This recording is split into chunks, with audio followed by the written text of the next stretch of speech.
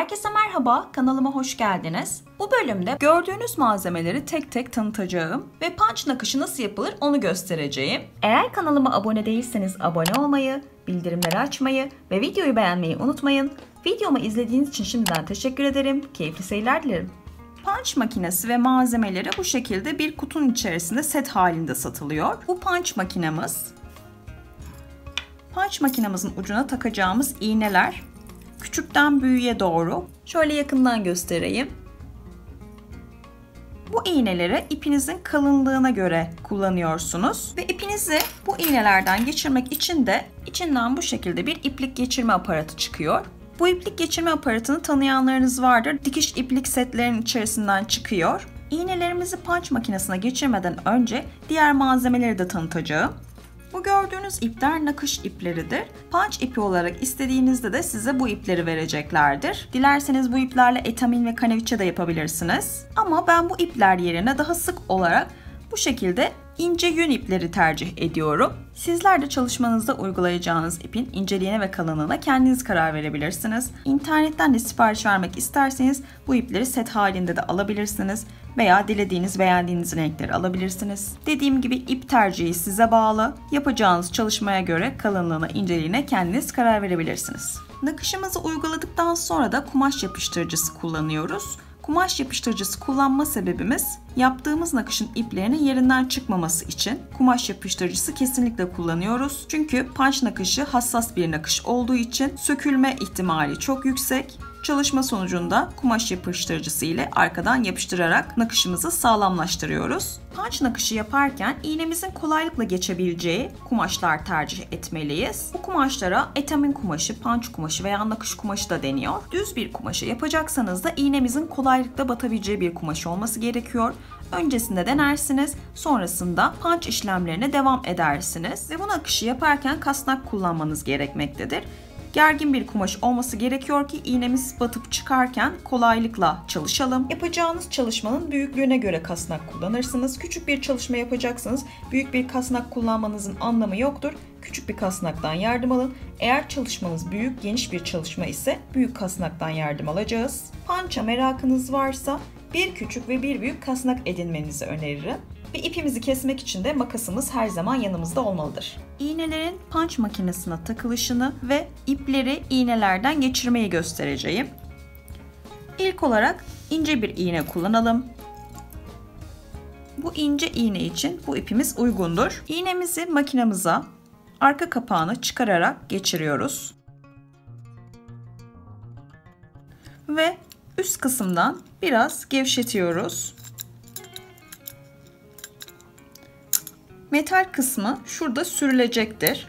Bakın böyle sürülmesi gerekiyor. Yani metal kısmı üst tarafta kalacak ve bu şekilde bakın görüyorsunuz önden de iğne çıkıyor. Bu önden iğne çıkması ne demek? Gördüğünüz gibi burada numaraları var. İpinizin görünümünün ne kadar uzun kalmasını istiyorsanız burada iğnenizin uzunluğunu da ona göre ayarlıyorsunuz. Birden başlayan 12'ye kadar devam eden uzunluk kısalık ayarımız vardır. Ortalama bir şey yapalım. Burada sıkalım. Sıkmamız gerekiyor ki iğnemiz yerinden oynamasın. Ve kapağımızı kapatmadan önce ipimizi alıyoruz. İp geçirme telimizi alıyoruz. Ve telimizi iğnemizin ucundan geçiriyoruz. Yukarıya doğru ittiriyoruz.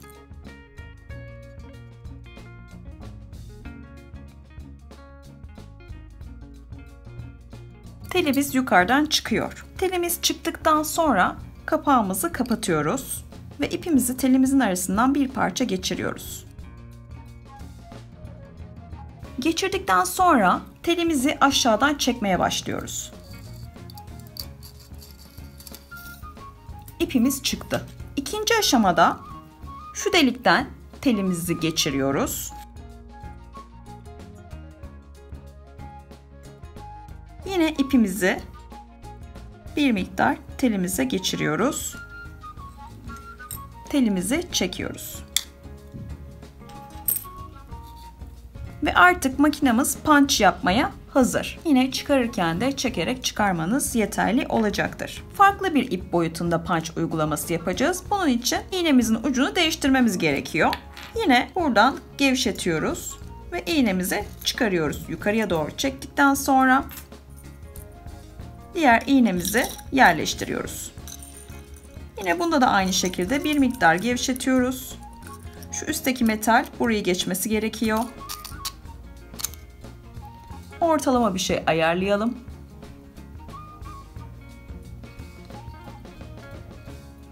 Çok basit arkadaşlar. Sıktıktan sonra yine aynı işlemleri yapıyoruz.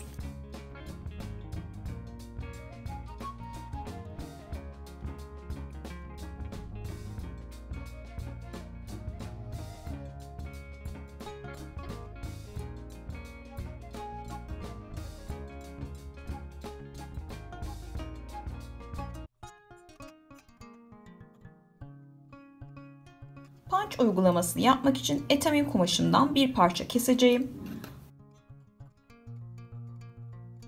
Şöyle kumaşımı ayarlıyorum.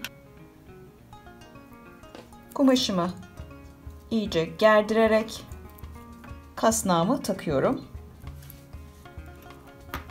Bir parça keselim.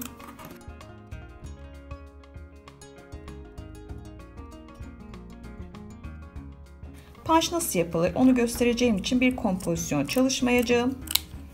Sonraki aşamalarda kompozisyonda çalışıyor oluruz. Makinemiz hazır, kumaşımız hazır.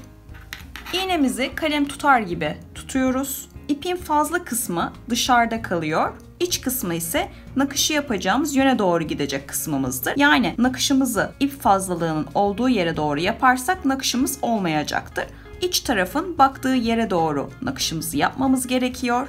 İğnemizi kumaşımıza batıyoruz ve iğnemizin içine bakan yöne doğru devam ediyoruz. Bir sonraki deliğe batıyoruz. Çıkıyoruz. Bir sonraki deliğe batıyoruz. Çıkıyoruz. Bu şekilde devam edeceğiz. Dediğim gibi İpin fazla kalan kısmı dışarıda kalıyor. Yani iğnenin kesik tarafını takip edeceğim. Döneceğimiz yerlerde de yine iğnemizin kesik kısmını gideceğimiz yöne doğru çevirerek nakışımıza devam edeceğiz.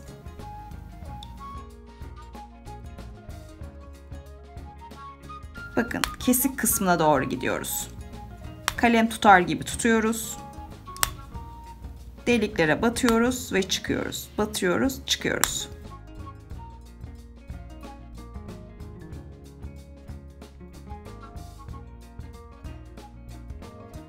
Yakından göstereyim.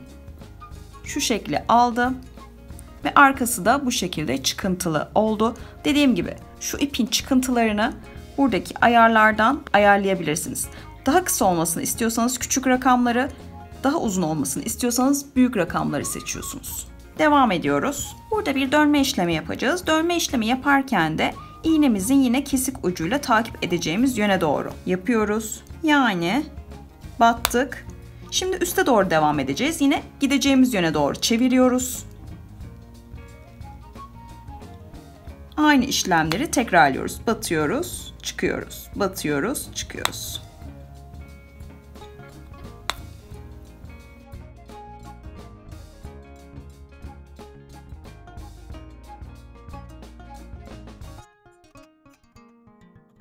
Daha yoğun olmasını istiyorsanız buraları da doldurabilirsiniz. Ama ipimiz çıkıntılı olduğu için bir tık boşluk bırakabiliriz. Eğer kısa tutacaksak deliklerin hepsini doldurmamız gerekebilir.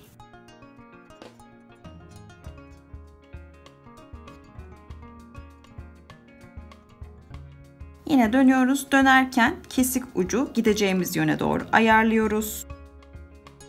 Tekrar gideceğimiz yönü döndürüyoruz ve kesik ucumuzla aynı işlemleri yapmaya devam ediyoruz. İlk etapta mantığa oturması biraz zor olabiliyor ama bir iki denemeden sonra alışıyorsunuz. Çok keyifli, dinlendirici bir çalışmadır.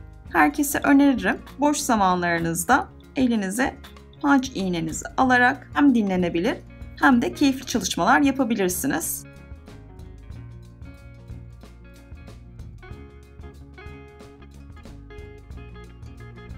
Punch'ımızı bitireceğiz. Ne yapıyoruz? İğnemizi çekiyoruz. Aşağıdan parmağımızla en son yaptığımız yeri sıkıyoruz. Biraz uzatıyoruz. Bakın şuradan sıktım.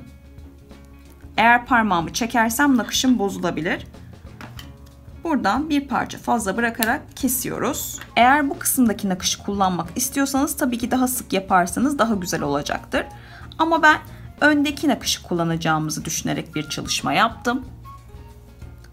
Bakın böyle bir şekil oluştu. Bu şekilde bir de kompozisyon yaptığınızı düşünün.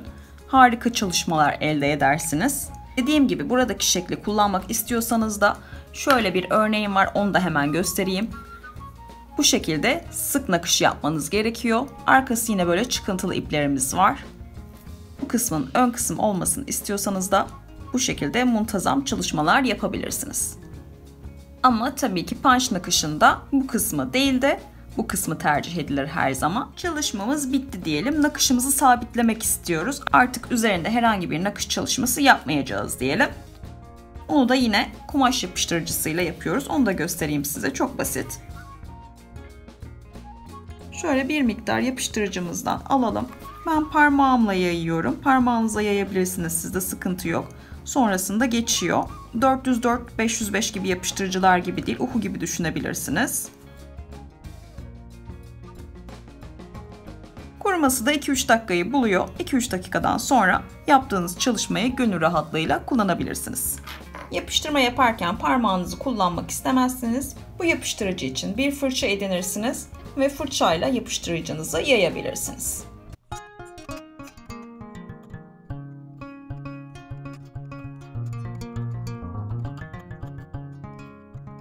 Bölümde punch nasıl yapılır ve punch malzemelerinin kullanımıyla ilgili bilgilerimi sizlerle paylaştım. Umarım eğitici, bilgilendirici ve verimli bir video olmuştur. Bugün de bir videonun daha sonuna geldik. Eğer kanalıma abone değilseniz abone olmayı, bildirimleri açmayı ve videoyu beğenmeyi unutmayın. Videomu izlediğiniz için hepinize teşekkür ederim. Bir sonraki videoda görüşmek üzere. Hoşçakalın, sağlıkla, mutlulukla kalın.